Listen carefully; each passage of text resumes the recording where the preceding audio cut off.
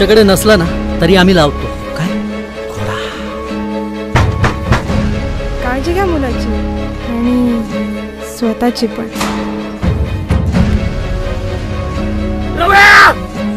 आता फिरवतो सगळ्यांच्या गळ्यावर.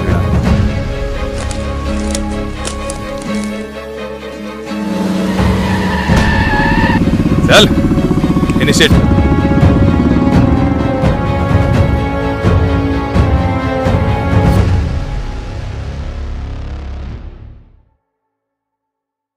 या बॅनरखाली माझ हा चित्रपट नुकताच दोन ऑगस्टला प्रदर्शित करण्यासाठी ही आजची पत्रकार परिषद घेतली की ज्यामध्ये माझ हा ही फिल्म बनवायला साधारणपणे आपल्याला एक वर्षाचा कालावधी पूर्णपणे गेला की ज्यात काही हेलिकॉप्टर्स महागड्या गाड्यांचा वापर केला जेणेकरून हेलिकॉप्टरच्या परमिशन सीनच्या रिक्वायरमेंटप्रमाणे ते हेलिकॉप्टर काही ठराविक ठिकाणीच उतरवायचं होतं जे की तुम्हाला पुढे जाऊन चित्रपटात पाहायला मिळेलच.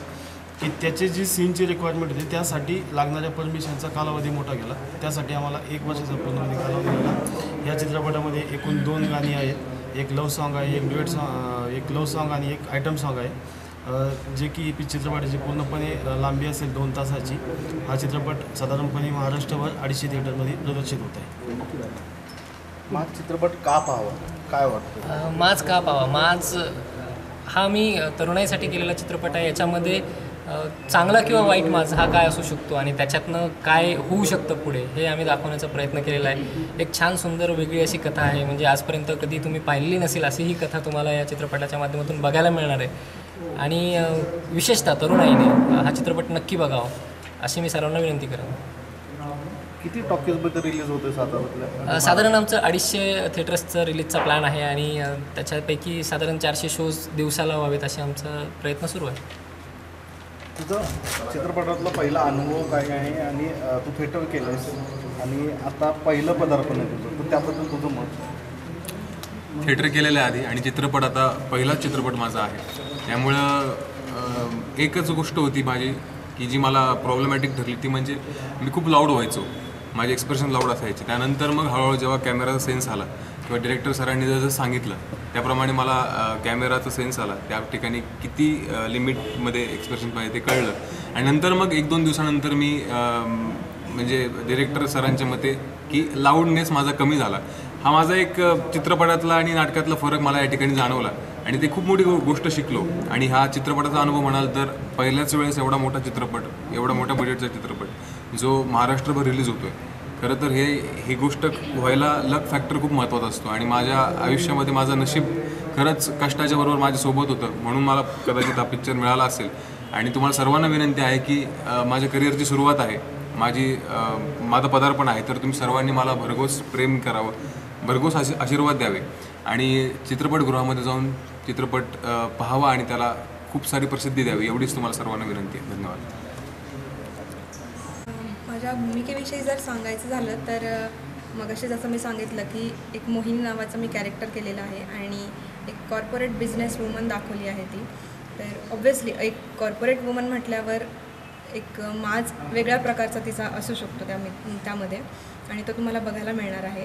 आणि ह्या चित्रपटाच्या अनुभवाविषयी जर सांगायचं झालं तर माझा हा पहिलाच चित्रपट आहे. मला खरंच म्हणजे खूप खूप जास्त गोष्टी शिकायला मिळाल्या या सगळ्यामध्ये. सरांचीही मला खूप साथ मिळाली. त्यांनी खूप छोट्या छोट्या गोष्टी मला खूप छान पद्धतीने समजून सांगितल्या. म्हणजे असं मला कधीच जाणवलं नाही की अरे माझा हा पहिला चित्रपट आहे म्हणून.